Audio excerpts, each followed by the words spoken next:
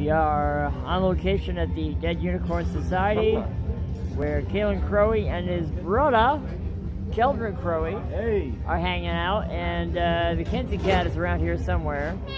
Meow. Hello to you. So, uh, after waiting not one, not two, not three, but four years, how does this feel? Finally.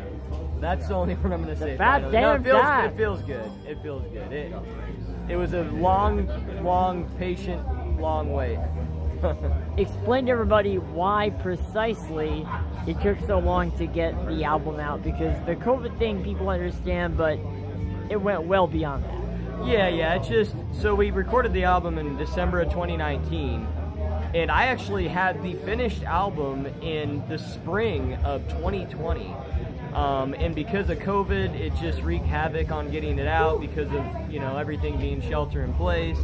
And then I had other ideas of how to release the album that fell through the cracks, and it just kind of ended up to how it is now. But everything happens for a reason, and there's a reason why it's it's out in 2023 and not 2020. So Well, uh, you're about to perform for this uh, crowd at the uh, Dead Unicorn. Uh, tell everybody who set you up tonight. Who are your opening acts?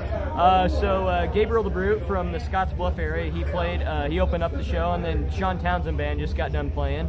Um, both amazing bands and, and artists and everything, so it's awesome to have them come down, especially on a night like tonight because it's snowy as hell and the roads are icy and it's just, it's not the best of weather, but hey, that's how it was when Neon Halos came out. You and I were talking about this on the way here that uh, during the album premiere for Neon Halos, the weather was rotten, just like it is tonight. Yeah, yeah. I think actually the Neon Halos weather was way worse than this. Um, more snow, but it's pretty shitty tonight too. Yeah. Pardon my French. Thanks for using such foul language. I appreciate that. Anyway, uh, congratulations on uh, a fantastic